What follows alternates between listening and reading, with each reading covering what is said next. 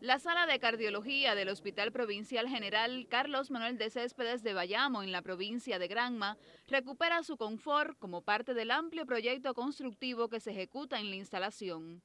La empresa comercializadora territorial Escambray fue la encargada de esta reparación integral que tuvo un costo aproximado de 170 mil pesos. La reparación integral de todos los baños de la sala, así como todos los accesorios eh, que estaban bastante deteriorados y hoy están todos funcionando y hay agua en toda la sala y en todos los cubículos, o sea, se hizo una reparación integral.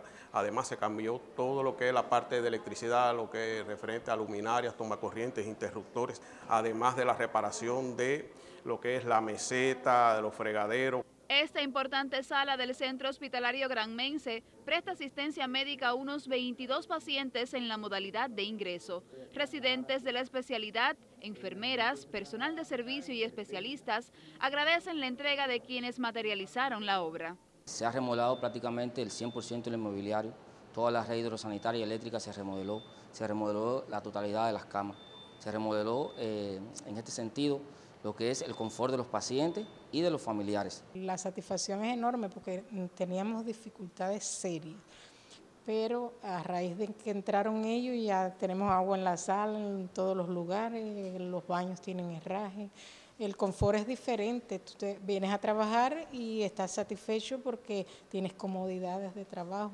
Esta sala no recibía una inversión hace 16 años atrás y sin embargo cuando usted pasa la vista es la sala más cuidada lo que deja entrever que hay un compromiso laboral con los pacientes y con la asistencia médica. Más de una veintena de obras se ejecutan en el Céspedes con el concurso de empresas del territorio. La terminación de la sala de cardiología permitirá elevar los estándares en sus prestaciones y mejorar la estancia de los pacientes y del personal de salud. En lo adelante, dependerá de todos preservar lo alcanzado, fruto del esfuerzo del país por elevar la calidad de los servicios en el sector de la salud. Rocío Rosales del Río, Sistema Informativo de la Televisión en Granma.